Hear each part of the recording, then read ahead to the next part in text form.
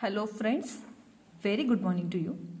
So today we are going to solve our grammar book page number 25 topic based on pronoun. Okay, so what are the pronoun? I, you, he, she, it, we, they. These are the pronoun. Okay, I we use for oneself. Okay, and he is used for boy or male. She is used for girl or woman. And it is used for place, animal or thing. After that, you, we use you for the singular as well as for plural form. And we, we use for more than uh, one person. Okay. So let's see. Now look at the pictures. Read what these children are saying. We are best friends. Okay. There are some girls standing together and they are telling that we are best friend. So here we is pronoun. Next sentence is they are my friends. We study together. Okay. So this boy is talking about these sentences. They are my friends. We study together. Okay. So here we stands for this name of more than one person speaking like boys, girls, men and women. Okay. And they stands for the names of more than one person, animal or things that are being talked about. Okay. So now there are some examples that we are going to solve. So what is the question?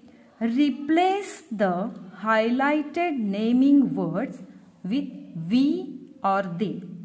Here you have to use we or they. Okay. So let's start. China and Serap love cartoons. Here we are going to use they love cartoons. Okay. They love cartoons. Give full stop. Okay. Jamal and I are going to school. Here the person is talking about. Okay. So we are going to school. Okay. Full stop. We are going to school. Okay. Here I is there. So this boy or girl they are talking about themselves. So we use here we. Shirley, Anita and I are good friends. Same again I here. So we are good friends. Give full stop. Okay. Now next sentence is dogs, cat and fishes can be kept as pet. Dogs, cat and fishes can be kept as pets. So here you write down they. They can be kept as pets. Give full stop. Okay. So today you write down these sentences and read these sentences also. After that, that day I told you to solve this worksheet but I sorry I didn't send you the answer sheet. So today you just you can see I'll send a snap afterwards. Hmm? Then turn your page and write down this. Look at the pictures, read aloud. the sentences. She. She is Sia. She is a teacher. She is a nurse. It is a dog. It is a chair. It is a baby. Now, related they sentence. They are Jay and Anu. They are three boys. They are four men. Okay. These sentences you have to read aloud. Okay. She, it and they. These are the sentences. Now next is now write he, she or it in the blanks.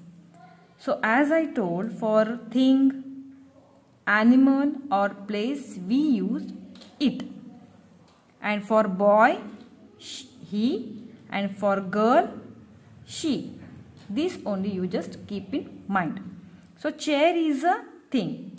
So what will come here? It. Okay.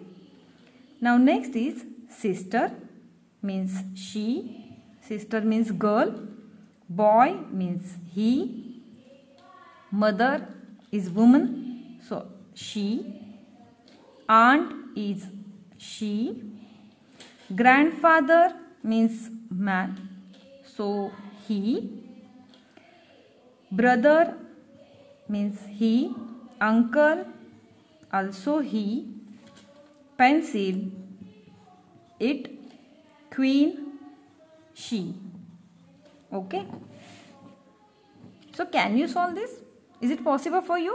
If not, I'll send the answer. Okay, just try to solve by your own. Okay. If you have any doubt, you can call me. Okay. Bye. Have a nice day.